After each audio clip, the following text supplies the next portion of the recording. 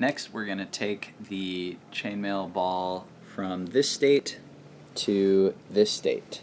The difference is we've added a bunch of blues in between each of the greens. So here's our chainmail ball so far, and we have a bunch of blues that are fully open.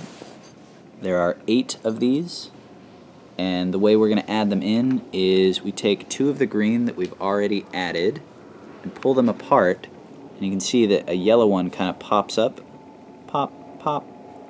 We're going to add a blue one right there onto that yellow one. So I'm going to take a blue one that's fully opened and I'll take these two greens pull them apart.